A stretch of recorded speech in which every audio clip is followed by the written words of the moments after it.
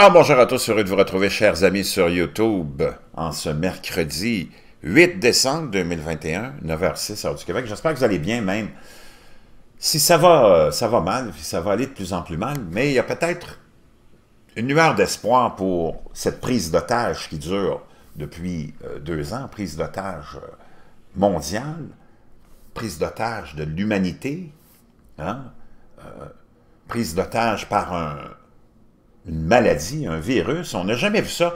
On va écrire euh, les livres d'histoire, nous autres, on va réécrire. En tout cas, on va laisser notre marque, nous, les contemporains, ceux qui sommes là en ce moment, ensemble, à vivre tout ça, avec tout ce qui se passe. Hein, on, on est en train de réécrire l'humanité, le, on est en train de remodeler l'humain aussi.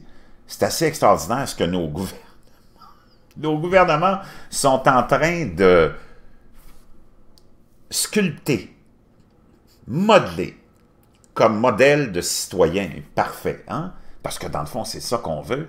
On veut le citoyen parfait selon leur vision à eux, ces gens qui nous dirigent, ces technocrates, ces bureaucrates du monde qui, je ne sais pas d'où ils viennent, je ne sais pas qui, qui ils sont, mais on a dans tous nos pays, au Québec, en France, en Belgique, tous nos technocrates, nos bureaucrates, tout ce monde-là qui sont nommés par les politiciens, qui arrivent à des postes très importants, beaucoup plus importants que ceux des politiciens, qui sont que les marionnettes, les faire-valoir, de ces technocrates, bureaucrates, avocats de tout genre, qui sont dans les hautes sphères de nos gouvernements et qui écrivent les lois, qui écrivent les projets de loi, qui écrivent les directions qu'on va prendre, les visions que la société a et qui devraient représenter le monde ordinaire, mais ça ne représente pas le monde ordinaire, mais vraiment pas. C'est fascinant, mais c'est aussi très inquiétant. Très inquiétant. Mais je vais y revenir dans quelques instants, mais je veux juste vous donner une lueur d'espoir pour cette prise d'otage de l'humanité. On n'a jamais vu ça. Hein? Prise d'otage avec... Wow! C'est...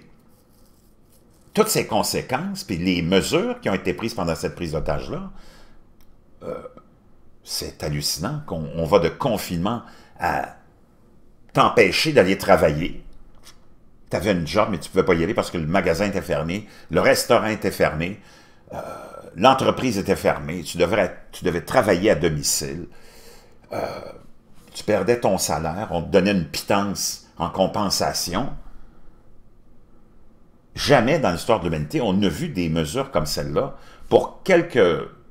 Même en pleine guerre mondiale, en pleine croisade, tout fonctionnait, tout était ouvert pendant que le monde se faisait décapiter il recevait des bombes sur la tronche. C'est hallucinant. Ça, c'est sans compter les couvre-feux. On te disait d'aller te coucher à 8 heures, tu ne pouvais plus sortir. Puis ça a duré des mois, des mois. Ça fait deux ans qu'on est là-dedans. Les enfants ne pouvaient plus aller à l'école. Toutes les mesures sanitaires, tout ce que tu peux imaginer. Une prise d'otage incroyable. On est pris en otage. Quand tu es pris en otage, tu peux plus. Tu es prisonnier, tu ne peux plus rien faire. C'est exactement ce qu'on a vécu. Ça va écrire les livres d'histoire, ça, c'est jamais vu. Et les conséquences pour l'être humain euh, qui, a, vécu ça, le monde ordinaire, les enfants, ça va être ça va être à voir dans les années à venir quelles auront été les conséquences de ça. Est-ce qu'on va revenir? Est-ce qu'on va revenir à une vie normale? Ça, c'est une question légitime. Puis il n'y a personne qui veut nous répondre. Moi, j'ai l'impression que tout ce que vous voyez comme mesure, on dirait que ça va rester. Le passeport va rester ad vitam aeternam tant que tu ne seras pas soumis à leur volonté. Tu sais laquelle.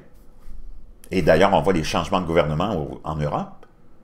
Kurtz, qui a été, euh, qui a pris, hein, qui, s'est retiré de la politique en Autriche pour des pseudo-accusations de corruption qui sont jamais venues.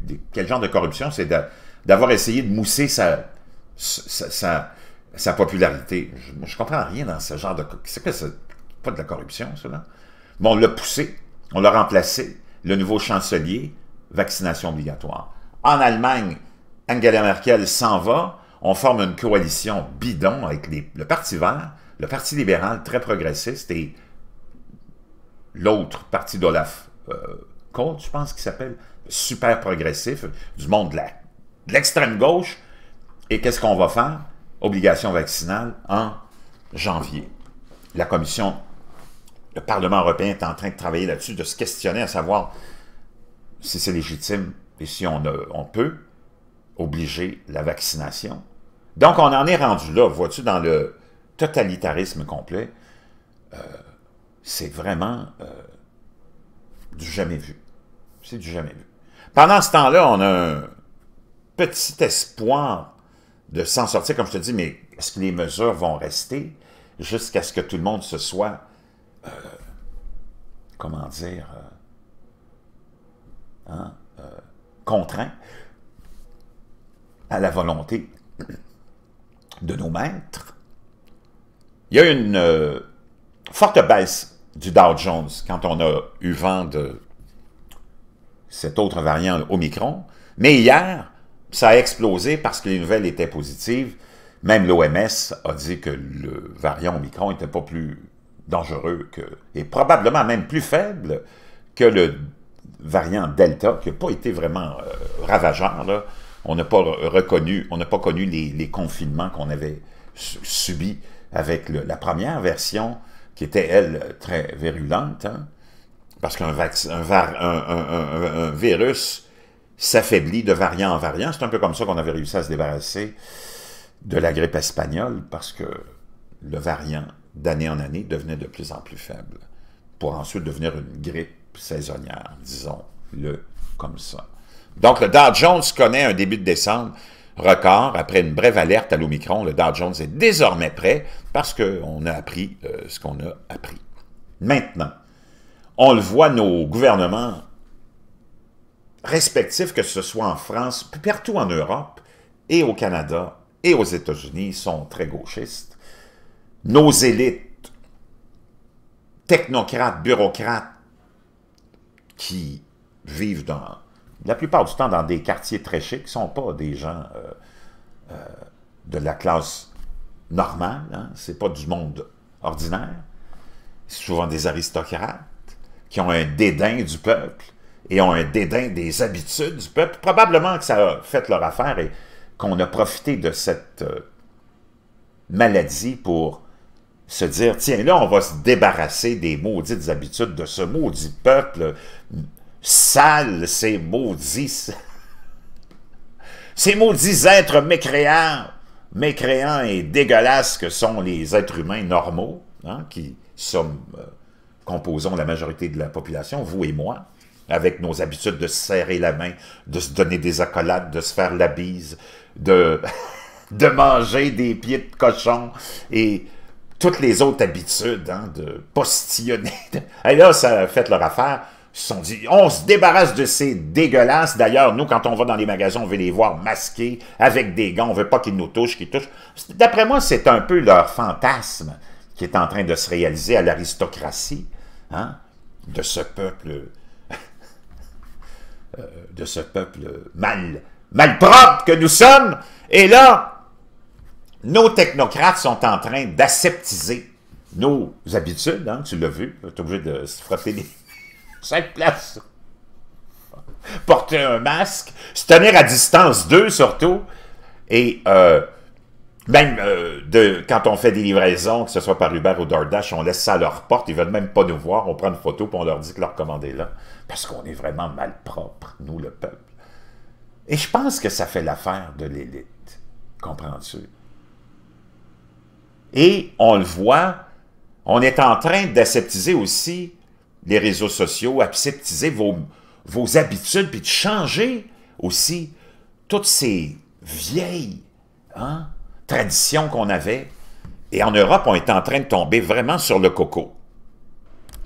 Donc, ces bureaucrates, ces technocrates ont décidé que le langage était sexiste. Un langage qu'on utilise depuis toujours, et on a euh, maintenant, naturellement, un langage, et on est en train d'établir un langage non sexiste, non genré. Comme si ça, c'était une priorité pour l'humanité, alors qu'on est dans les injustices, la misère, les guerres, la torture. Le langage exclusif au genre est un type de langage subtilement sexiste qui fait référence à un seul groupe de genre. C'est parce que c'est le langage qu'on utilise depuis toujours. Mais apparemment, pour les technocrates, les bureaucrates, ça les empêche de dormir, comprends-tu? Parce que ce qu'un bureaucrate, un technocrate, un aristocrate veut, c'est aller dormir avec la conscience en paix.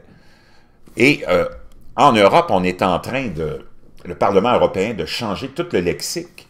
Donc, au lieu d'être le, fameux chairman, ça va être le chair. Et il y a une liste de noms qui seront euh, vraiment... Euh, c'est un peu renversant, mais qu'est-ce que tu veux que je te dise?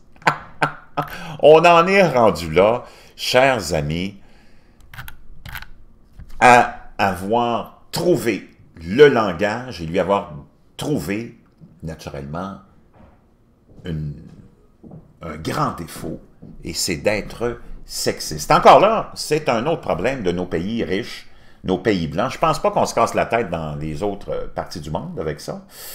Mais nous autres, comme on n'a pas grand-chose à faire, apparemment, on perd notre temps avec ça. Améliorer le sort de l'humain, ça ne les intéresse pas baisser la taille du gouvernement, ça surtout pas. Eux autres, ce qu'ils veulent, c'est, tu vois, ils sont rendus à même changer ton langage qui est là depuis toujours et qui, je pense pas, a dérangé qui que ce soit, sauf une bande de technocrates puis de bureaucrates. Chers amis, moi je sais pas, mais c'est pas vraiment une bonne direction dans laquelle on va, mais tu pourras rien y faire ces gens-là ont décidé que ça se passerait comme ça. On veut le citoyen parfait, selon les aristocrates, pour plus qu'ils soient dérangés, pour plus qu'ils soient contaminés, parce ont peur d'être contaminés par nous. Ils ont peur d'être contaminés par un rapprochement de nous. Donc, je pense que la distanciation physique va rester pour les aristocrates. Et ils viennent de décider maintenant que même si ce langage-là existe depuis des centaines et des centaines d'années, autant en anglais, en français que dans d'autres euh, versions, l'idée que certaines parties de la langue anglaise aient été sexistes a porté la... dans les cultures anglaises occidentales par les féministes dans les années 70. Madame, monsieur, je ne sais plus comment vous appeler. Mais enfin, je peux te dire une chose. Wow! Si tu pensais que tu étais sorti du bois, le bois, hmm, le bois, ok, c'est correct. Ben non, tu n'es pas sorti du bois.